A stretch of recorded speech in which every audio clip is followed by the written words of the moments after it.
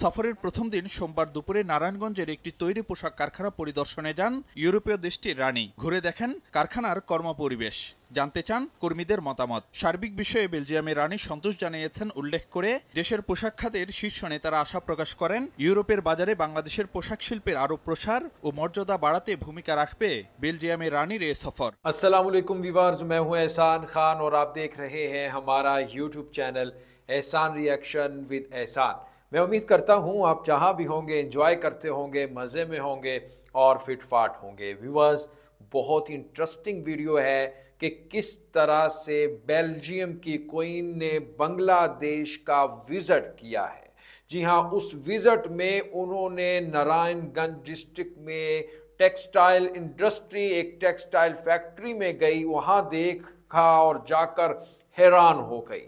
क्या कुछ उसने वहाँ जाकर जो क्वीन है बेल्जियम की देखा? और किस तरह से वो तारीफ़ करने पर बांग्लादेश की मजबूर हो गई?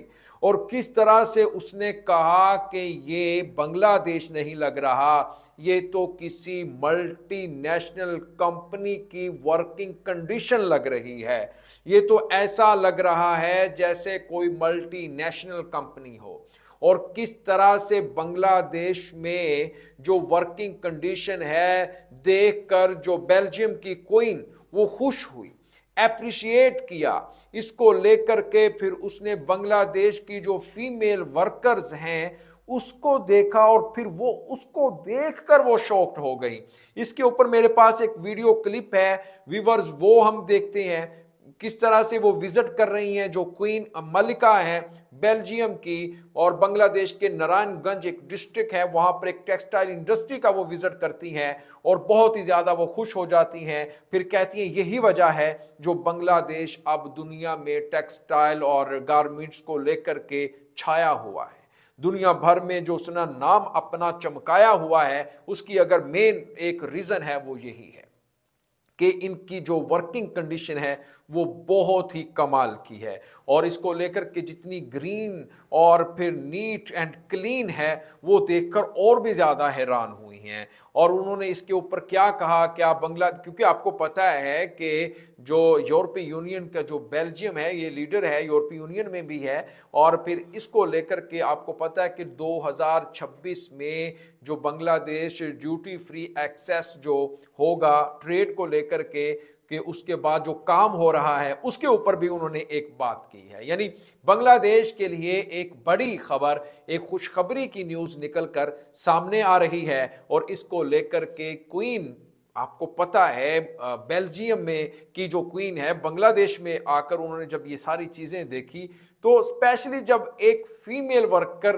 को देखा, जब उनसे पूछा, वो बड़ी इंटरेस्टिंग चीज़ है कि भाई आप इस तरह से किस तरह से आप इस माहौल में एडजस्ट हैं? आपको इस तरह का इन्वायरमेंट कैसा लग रहा है? क्या आपको कोई परेशानी तो नहीं है? तो उन्होंने उसके बदले में क्या कहा? और जब उन्होंने देखा कि इतनी ज़्यादा फैसिलिटीज़ दे रखी हैं, और उसने तो सोचा था कि बांग्लादेश में जो लेबर कास्ट है, बड़ी सस्ती है। तो इनको जो फैसिलिटीज़ भी हैं, वो भी इतनी अच्छी नहीं दी होंगी। लेकिन जब उन्होंने उनकी फैसिलिटीज़ देखी, जब उन्होंने उनको जितनी ज़्यादा सहूलतें दे रखी हैं, बांग्लादेश की इस फैक्ट्री ने, यानी टेक्सटाइल इंडस्ट्री ने तो वो देखकर और भी ज़्यादा खुश हुई है। यानी उन्होंने एप्रिसिएशन की ले विवर्स बढ़ते हैं। पहले हम ये वीडियो क्लिप देख लेते हैं, फिर हम इसके ऊपर डिटेल से बात करेंगे। मैं रिएक्शन भी दूँगा। आपसे मेरी ये रिक्वेस्ट है, इस वीडियो को आपने आखिर तक, अंत तक ज़रूर देखना है। लें जी, वीडियो की तरफ़ बढ़ते हैं। अगर अभी तक आपने हमारे यूट्यूब चैनल एस रिएक्शन को सब्सक्राइब नहीं किया, चैनल पर नए आए हैं, अभी अभी विज़िट किया है तो चैनल को सब्सक्राइब कर लें और बेल आइकन भी प्रेस कर दें। वीडियो को लाइक किया करें और कमेंट सेक्शन में आप अपनी फीडबैक से हमें ज़रूर आगाह भी किया करें। Three two one and Q ইউরোপের দেশ বেলজিয়ামে রানী মাথিল্ডে মেরি ক্রিস্টিন প্রথমবার এলেন বাংলাদেশে। সোমবার সকালে কাতার এয়ারওয়েজের একটি ফ্লাইটে ঢাকা পৌঁছান তিনি।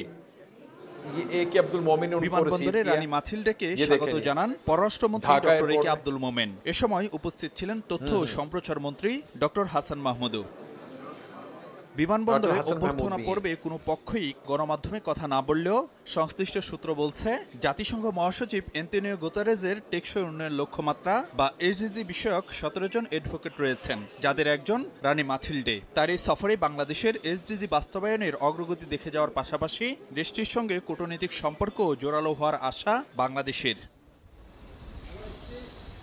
সফরের প্রথম দিন সোমবার দুপুরে নারায়ণগঞ্জের একটি তৈরি পোশাক কারখানা পরিদর্শনে যান ইউরোপীয় দেশটির রানী। ঘুরে দেখেন কারখানার কর্মপরিবেশ।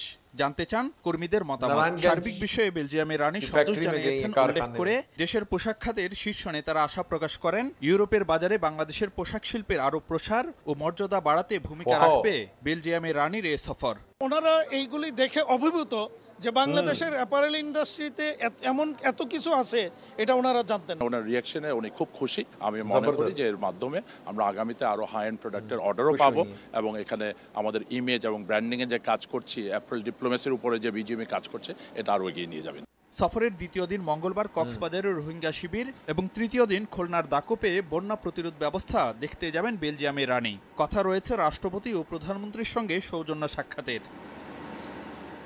ফারুক ভিয়া রবিন तो व्यूवर्स आपने ये वीडियो देखी है किस तरह से जो बेल्जियम की क्वीन उनका जो इस्तकबाल किया गया वार्म वेलकम किया गया कतर एयरवेज से वो आई हैं ढाका आ, आपको पता है कि एयरपोर्ट पर उनका जिस तरह से बांग्लादेश के फॉरेन मिनिस्टर ए के अब्दुल मोमिन साहब हैं और दिस- दूसरे भी बांग्लादेशी हुकूमत के जो ऑफिशल्स हैं उन्होंने उनको वार्म वेलकम किया इस्तकबाल किया फिर वो आई और नारायणगंज डिस्ट्रिक्ट में एक कारखाने में एक फैक्ट्री में गई। वहाँ पर जाकर उसने देखा कि किस तरह से वर्किंग कंडीशन देखी बांग्लादेश की और उसके बाद इसके ऊपर आर्टिकल भी काफ़ी छप रहे हैं रिपोर्ट किया जा रहा है बांग्लादेश मीडिया में इसको लेकर के और किस तरह से उसने तारीफ़ भी की है बांग्लादेश की वर्किंग कंडीशन की स्पेशली और जो टेक्सटाइल इंडस्ट्री को देखकर वो बहुत ही ज़्यादा खुश भी हुई हैप्पी मूड में थी कह रही थी कि मैंने ये नहीं सोचा था मैं ये इमेजिन नहीं कर पा रही थी कि, कि इतना अच्छा वर्किंग कंडीशन होगा। ये तो ऐसा लग रहा है जैसे कोई मल्टी नेशनल कंपनी में भी इस तरह की सहूलतें नहीं होती इस तरह की जो फैसिलिटीज़ हैं वो नहीं देते।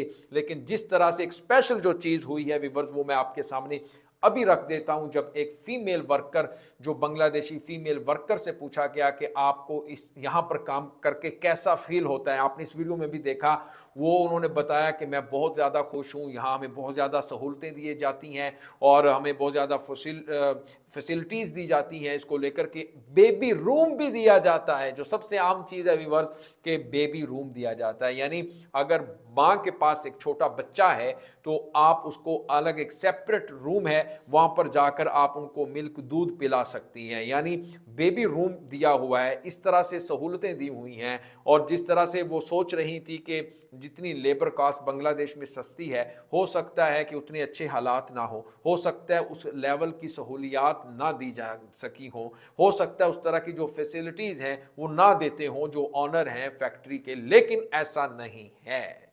बल्कि उसके ऑपोजिट है। बहुत ही अच्छी चीज़ें देखने को मिली फिर वो सोलर एनर्जी पर जो इलेक्ट्रिसिटी बनाते हैं, बिजली, वो वो देखकर भी बड़ी खुशी हुई कि उन्होंने कहा कि वाकई इतना ग्रीन क्लीन और नीट एंड क्लीन माहौल इन्वायरमेंट बड़ा ही अच्छा लग रहा था।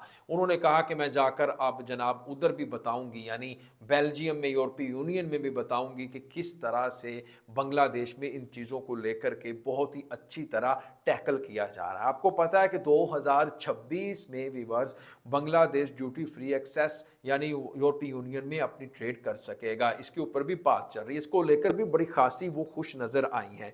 व्यूवर्स ये वीडियो आपको कैसी लगी इसके बारे में आपने फीडबैक ज़रूर देना है। कमेंट सेक्शन में जाइएगा कमेंट कीजिएगा और वीडियो को लाइक भी किया है। अगर अभी तक आपने चैनल को सब्सक्राइब नहीं किया चैनल को भी सब्सक्राइब कर लें। बेल आइकन भी प्रेस कर दें। मिलते हैं नेक्स्ट वीडियो में। तब तक के लिए मुझे दें इजाज़त। अपना बहुत ज़्यादा ख्याल रखिएगा। अल्लाह हाफिज़। Yeah.